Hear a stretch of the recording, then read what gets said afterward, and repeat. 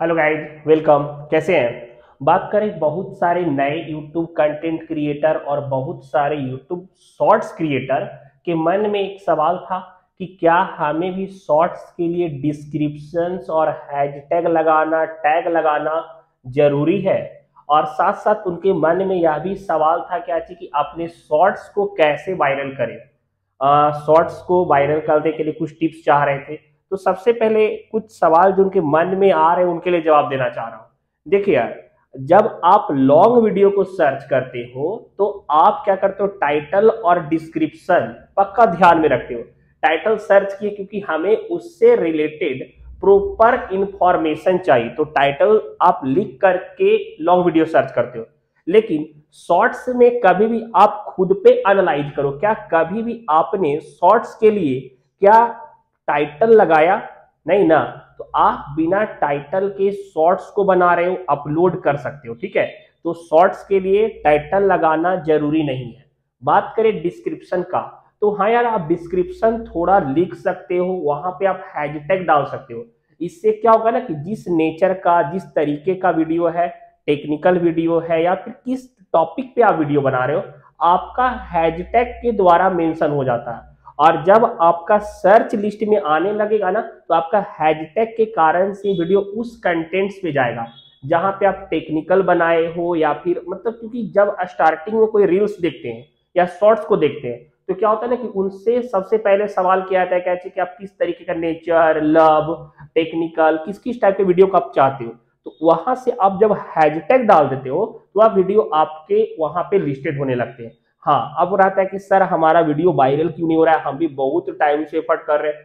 देखिए यार S search engine optimisation जो है गूगल का, वह एक अपने पार्टिकुलर रूल को फॉलो करता है। अगर आप कंटिन्यूटी लगे रहते हो, अगर आप प्रॉपर एक टाइम पे वीडियो अपडेट करते हो, लगातार अपने यूट्यूब पे बने रहते हो, आपका कंटेंट इंटरेस्टिंग रहता है, लेकिन सस्पेंस लोगों को देखने में अच्छा लग रहा है। लोग आपके वीडियो को पसंद कर रहे हैं, ज़्यादा वॉच टाइम आपका ले रहे हैं तो वहाँ पे यूट्यूब को लगता है कैसे कि आपका वीडियो थोड़ा इंफॉर्मेटिव है अच्छा है, वह आपके वीडियो को प्रमोट करते हैं। अब आपके मन में आ रहा हो कि सर इंप्रेशन देखिए इंप्रेशन का बहुत बड़ा रोल करता है आपका शॉर्ट्स साथ साथ सब्सक्राइबर को गेन करने में।